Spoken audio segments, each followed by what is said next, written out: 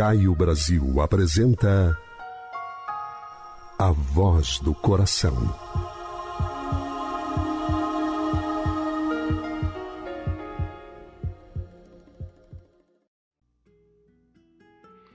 Cuidados. Não vos inquieteis, pois, pelo dia de amanhã, porque o dia de amanhã cuidará de si mesmo. Jesus. Está em Mateus, capítulo 6, versículo 34. Os peregrinos de todos os tempos nunca perderam ensejo de inquinar afirmativas evangélicas, desviando-as rumo a falsas interpretações. A recomendação de Jesus referente à inquietude é das que mais se prestou aos argumentos dos discutidores ociosos. Depois que o Cristo aludiu aos lírios do campo, não foram poucos os que se reconheceram a si mesmo na qualidade de flores, quando não passam de plantas espinhosas.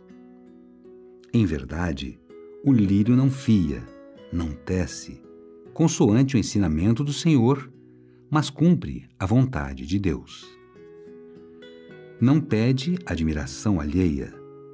Floresce no jardim da atmosfera, enfeita a alegria ou consola a tristeza. É útil à doença e à saúde. Não se revolta quando lhe fenece o próprio brilho ou quando mãos egoístas o separam do berço em que nasceu. Será que o ocioso toma igualmente o padrão do lírio em relação à sua existência na humanidade? Recomendou Jesus que o homem não guardasse ansiedade nociva relativamente à comida, ao modo de trabalhar, ao vestuário, às questões acessórias. Ensinou que o dia, representando a resultante de leis gerais do universo, atenderia a si mesmo. Isso é incontestável. Para o discípulo fiel, vestir e comer são coisas simples. Trabalhar constitui a alegria de servir em qualquer parte e o dia significa oportunidade santa de cooperar no bem. Mas afirmar daí que o homem deva caminhar sem cuidado de si próprio seria menosprezar esforços de Cristo convertendo-lhe as palavras em programa de vagabundo.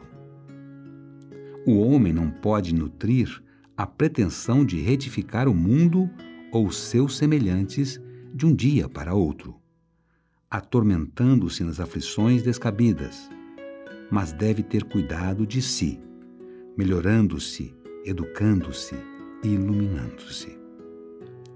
De fato, a ave canta feliz mas faz sua casa. A flor adorna-se tranquila, mas atende aos desígnios de Deus.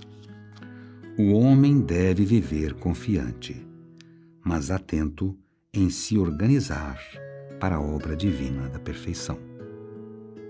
Texto extraído do livro Harmonização. Psicografia de Francisco Cândido Xavier, pelo Espírito Emmanuel. Paz e bem.